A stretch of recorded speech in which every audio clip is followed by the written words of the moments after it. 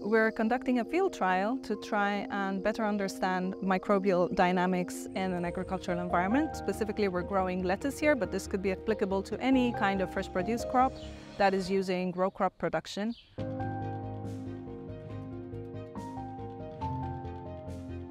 What we're interested in is really trying to understand how contamination um, with foodborne pathogens might come into the field and therefore cause a risk for food safety concerns. So don't sample this one today, sample this one.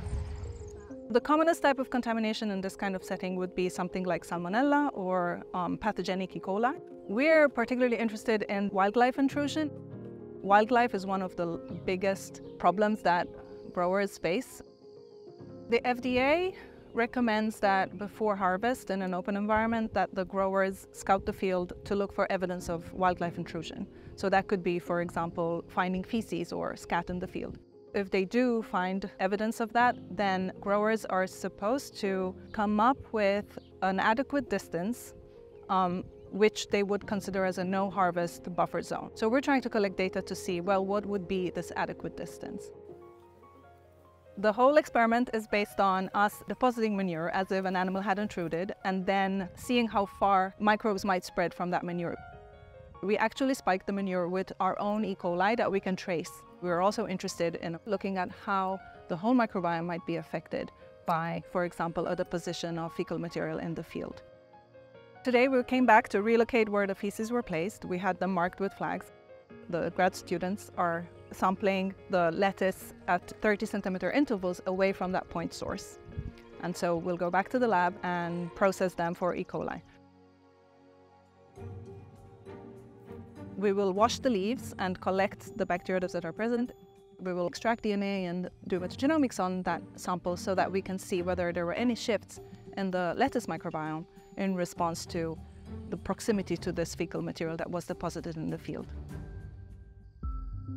So it's not just looking at foodborne pathogens. We're interested in looking at different ground covers. In row cropping, it's very common to put down some kind of ground cover. The commonest one is to use conventional plastic film that gets rolled back up after the crop has been harvested. One of them is biodegradable plastic, which doesn't get rolled up. It gets degraded into the soil. We'll be coming back out to see how the ground covers impact the microbiome as the plant is developing. There are a lot of beneficial microbes that are present in soil that interact with roots, that roots get colonized with, and we call these plant growth promoting rhizobacteria or PGPR, and they have multiple beneficial impacts on the plant. They typically will increase uh, plant growth, make the plants um, more resistant to plant pathogens, and so we're interested in seeing whether these beneficial microbes impact the plant in a way that also benefits food safety. So do, do the plants become um, less favorable, for example, for the colonization of human pathogens. We're really excited to be part of the Microbiome Center because we come from the agricultural side, plants specifically, and so we hope to bring this other element to One Health, which is growing food. Although they are plants, they are very much connected with the wildlife, the humans that consume them, the wildlife that might interact with them. The health of a crop is very much connected with the environment, which of course is part of One Health. We're one microbiome center dedicated to One Health.